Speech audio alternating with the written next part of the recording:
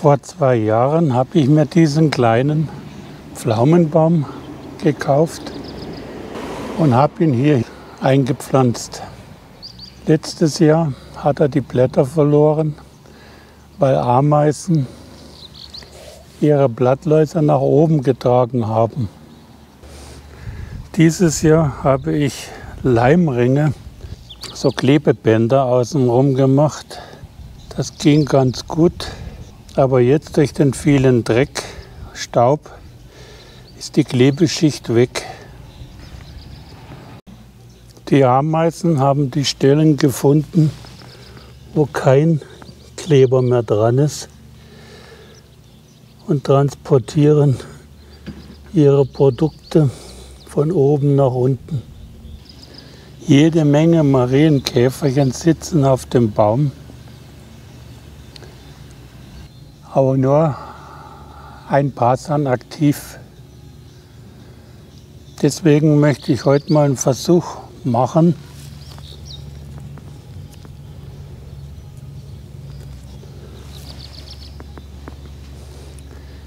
diese Klebebänder mal entfernen und direkt durch Kleber, was es ja auch zum Kaufen gibt,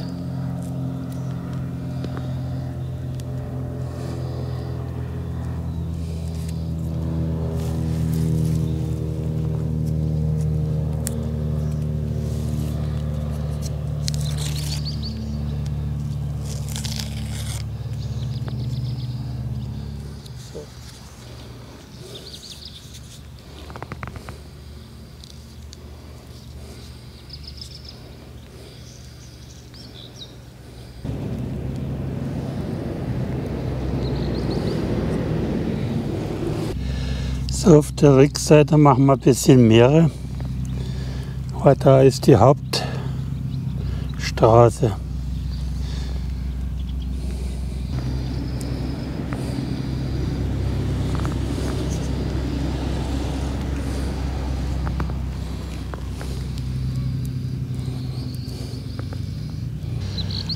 Und sollte hier die Klebewirkung mal verloren gehen, dann wird einfach neu eine neue Schicht überstrichen. Man sieht schon, es gibt jetzt schon eine Stau. Wir befinden uns wieder im Tomatenhaus vor der kranken Ananas-Tomaten. Ich habe ja neulich alle gelben oder bräunlichen Teile abgeschnitten. Jetzt ist es aber schon wieder, dass die nächsten Äste sich verfärben. Die Blüten sind alle verdörrt, wie wenn die Pflanze kein Wasser bekommt. Noch mehrere abschneiden, denke ich, macht keinen Sinn. Ich werde die Pflanze herausnehmen.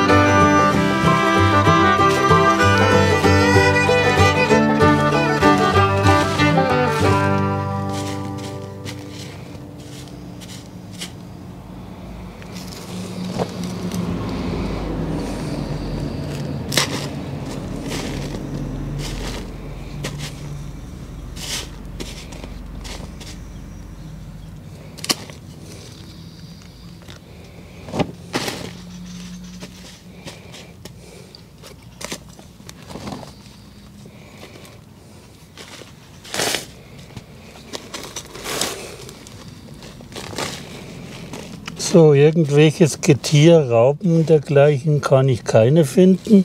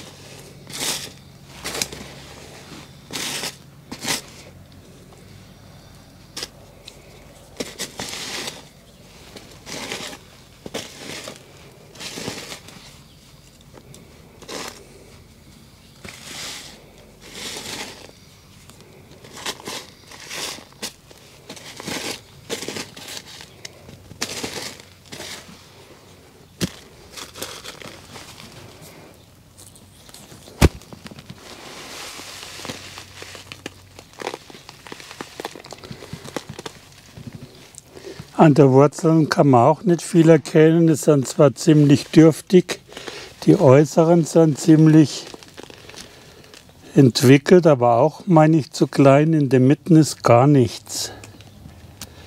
Jetzt gehe ich mal in den Komposthaufen und schaue mal, ob in der Wurzel was drin ist.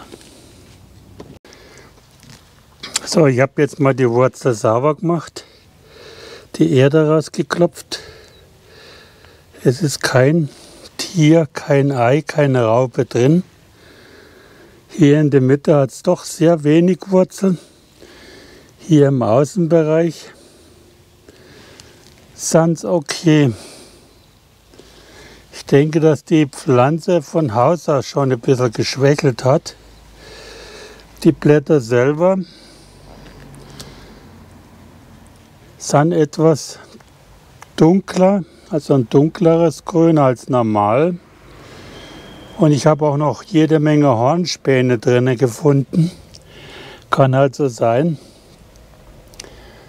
dass die ein bisschen zu überdüngt worden ist. Es gibt auch noch Blüten hier in dem Bereich.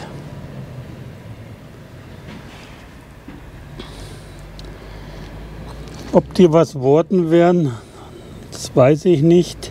Die Blüten, die oben waren, sind eingetrocknet und abgefallen. Ich werde sie trotzdem jetzt nicht auf den Kompost, sondern auf den Sondermüll schmeißen.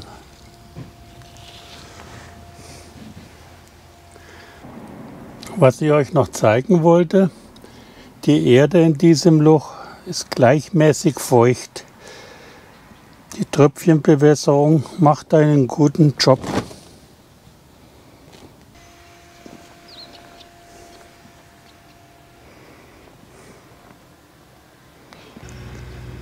Gestern hatte ich die Artischocke noch zweimal mit dem Wasser-Milch-Gemisch eingesprüht.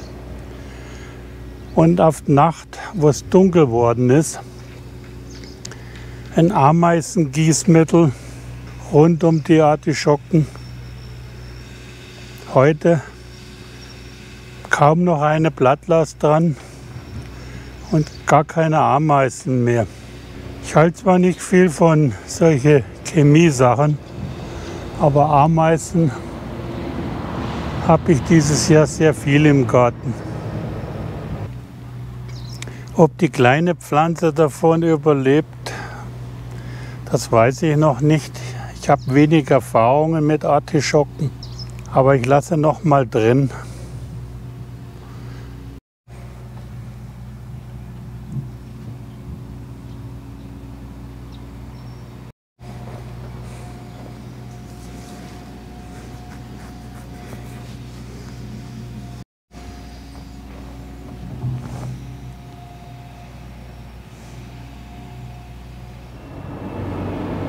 Nachdem ich die Ananas-Tomate aus dem Tomatenhaus rausgenommen habe, musste ich feststellen, dass die erste Tomate links komische Knoten und Windungen in ihren Blättern hat.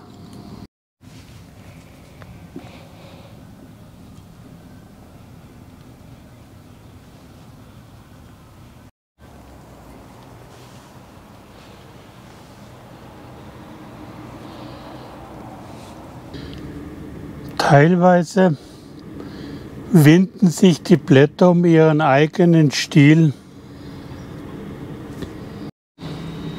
bis mir dieses Blatt aufgefallen ist, was total zerfressen war.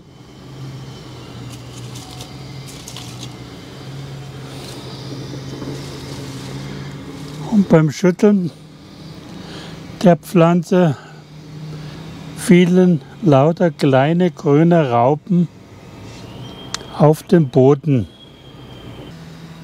Im oberen Bereich verhält es sich ganz normal.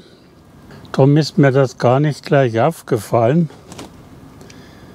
Jetzt frage ich mich natürlich, Black Cherries habe ich draußen im Hof, im Freien, vier oder fünf Pflanzen stehen und die sind alle kerngesund.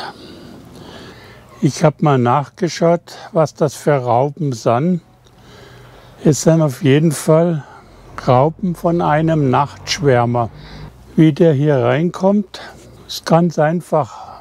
Oben sind ungefähr unterm Dach 10 cm frei, damit die Hitze hier entweichen kann. Ich habe jetzt mal bei der Tomate die ganzen Raupen runtergeschüttelt, wo ich gefunden habe und zerdrückt. Gift möchte ich keins einsetzen. Es gibt ein Mittel, das wäre das Nehmöl. Das möchte ich aber auch erst hernehmen, wenn mehrere befallen sind. Bis jetzt ist mir aber noch nichts aufgefallen bei den anderen. Ich werde es aber noch mal nachkontrollieren.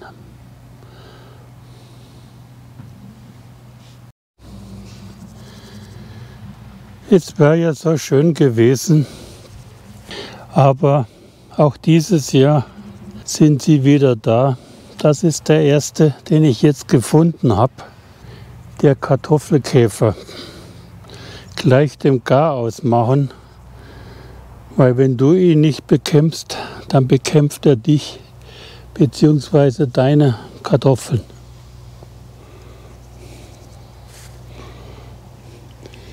Man muss halt immer aufpassen, weil wenn der merkt, dass man einen Kragen will, dann lasst es sie auf den Boden fallen